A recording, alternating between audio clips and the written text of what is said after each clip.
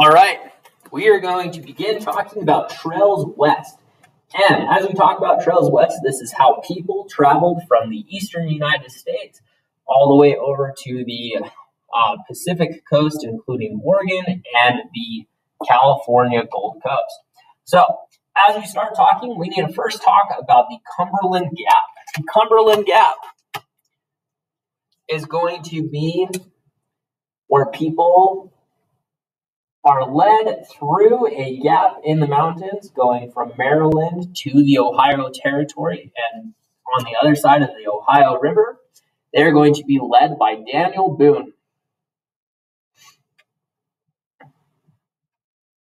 They are going to originally cut this trail through uh, the Appalachian Mountains. Okay, and as they cut this trail through the Appalachian Mountains, they are going to allow enormous amounts of settlers into the Kentucky and the Ohio territories. These settlers are eventually going to become um, known as frontier, but this will change as the west of the United States expands further. Okay, from Daniel Boone and the Cumberland Gap, we are now going to start talking about upstream travel on the Missouri River. The Missouri River met up with the Mississippi River near St. Louis, Missouri. Okay. And it took until the invention or the application of Robert Fulton's steam engine. Originally starting off near the Hudson River Valley, but it takes Robert Fulton's steam engine being applied to a boat, so a steamboat, in order to travel upstream. It was extremely difficult to travel upstream prior to this. Um, Lewis and Clark actually had to use teams of men to pull their boats up the Missouri River in an effort to find the Northwest Passage. Okay, this is a quick overview of travel to the West we move on to Trails of John C. Fremont. John C. Fremont was tasked with finding routes to the west that settlers could use, and he found a lot. He traveled consistently throughout the western area, and here are but a few of the trails that John C. Fremont would find.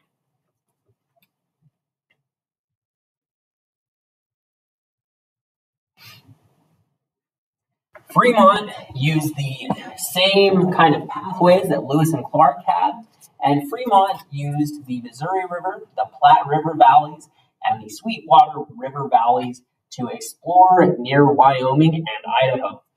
As he explored near Wyoming and Idaho, he eventually came to the Oregon Territory. Oregon was being quote unquote shared by the British and the United States during this time. And the Oregon Territory set up a very good opportunity for people looking to use those fertile river valleys for farming. After the Oregon Trail, there are a number of groups that also are moving for religious freedom, like the Mormons, who are going to move down here to the Beehive State, Utah, in order to set up their own um, Zion so we have the Mormon Trail that is also going to follow in the footsteps of John C. Fremont. Eventually, we are going to have people going through Utah, through Oregon, and they are going to start settling the southwestern Pacific corner of the United States, the California Trail. To get there, to the valleys of California would have been a difficult journey to say the least, and some of them ended up trying to cross the Great Salt Lake Desert and the Great Basin region, a region that doesn't have any water. They had to cross the Sierra Nevada mountains. Some people did meet their doom on this journey, like the Donner Party, who um, unfortunately did have to resort to cannibalism for some of them to survive. John C. Fremont's California, Oregon, and Mormon trails kind of like laid the groundwork for a huge influx of people moving west after we had the California gold rush. There are going to be people coming from the coast and cities like San Francisco are going to grow exponentially. But the gold rush kicks off a humongous exodus of people rushing to California seeking their fortune. Not all of them gained a fortune, some of them did, but more so by people like Levi Strauss, who developed denim jeans that the miners could use versus finding a fortune in gold. After the California gold rush, we're going to start talking about the introduction of railroads and how life starts changing in the West. Railroads had begun with the very simplified tracks of the Ohio B&O. And the Ohio B&O went from Baltimore to Ohio. The Baltimore to Ohio Railroad was trying to compete with some of the canals, like the Erie Canal, as well as some of the um, other main thoroughfares, like the Chesapeake to Ohio canals going between the frontier and the eastern United States. The Baltimore to Ohio was the first long distance rail in the United States. And it was with Baltimore to Ohio that they started to standardize the size of the rail so that trains could travel more easily and connect and be able to travel the length of the country. So after the B and O, we're going to get to talking about the length of the country by rail. We shift over to Utah once again at Promontory Summit or Promontory Point, doesn't really matter how we say it. Okay? But at Promontory Summit in 1869,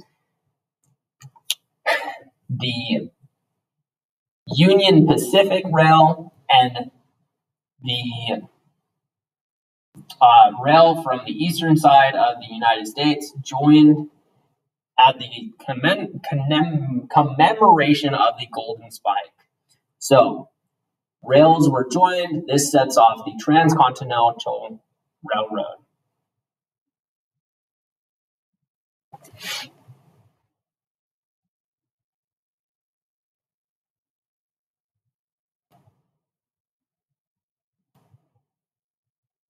All right.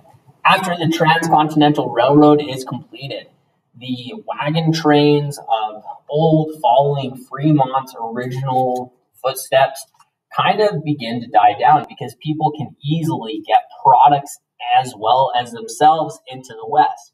And one of those large products during this time is going to be the cattle industry. People's uh, desire to eat beef and put that on the table has grown and so this area of the Southwest, including Arizona, New Mexico, and Texas, begins to have a large impact on the beef industry. There is going to be a number of trails, but it all begins with the Chisholm Trail, which went between Kansas and Texas, shipping large amounts of beef held in ranches, and this, these beef would go from the ranches to the railways waiting to ship the beef to the plates of hungry Easterners. All right. We have gone through a quick overview of Trails West. Um, as always, ask any questions if you have them. But there we go.